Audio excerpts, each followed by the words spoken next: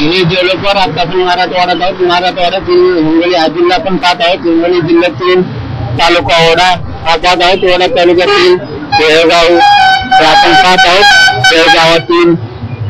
N education care आपण पाहत आहोत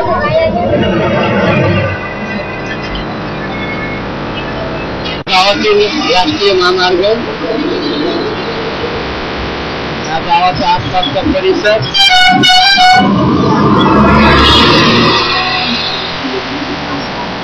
हा गावात जाणारा रस्ता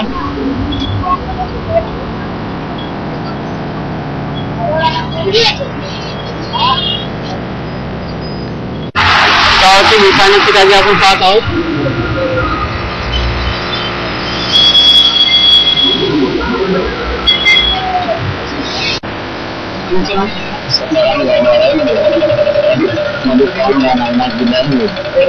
तर आपल्या गावामध्ये आरोग्य सुविधा कशा प्रकारे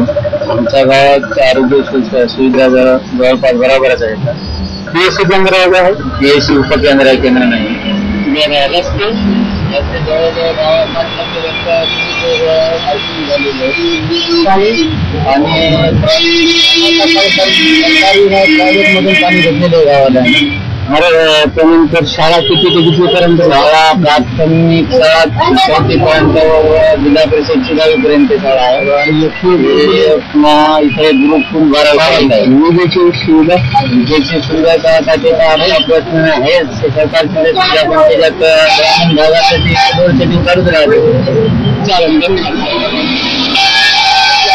गावातील सरपंच होते यांचं चांगला आपण